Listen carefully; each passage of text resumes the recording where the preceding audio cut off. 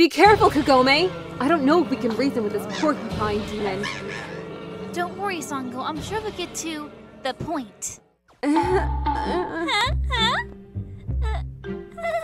Kagome? Sango? Not appropriate? You slay me.